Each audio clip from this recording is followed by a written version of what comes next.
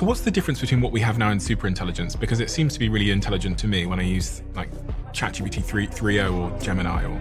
Okay, so it's already, AI is already better than us at a lot of things. In particular areas, like chess, for example. Yeah. AI is so much better than us that people will never beat those things again. Maybe the occasional win, but basically they'll never be comparable again. Obviously the same in Go. In terms of the amount of knowledge they have, um, something like GPT-4 knows thousands of times more than you do.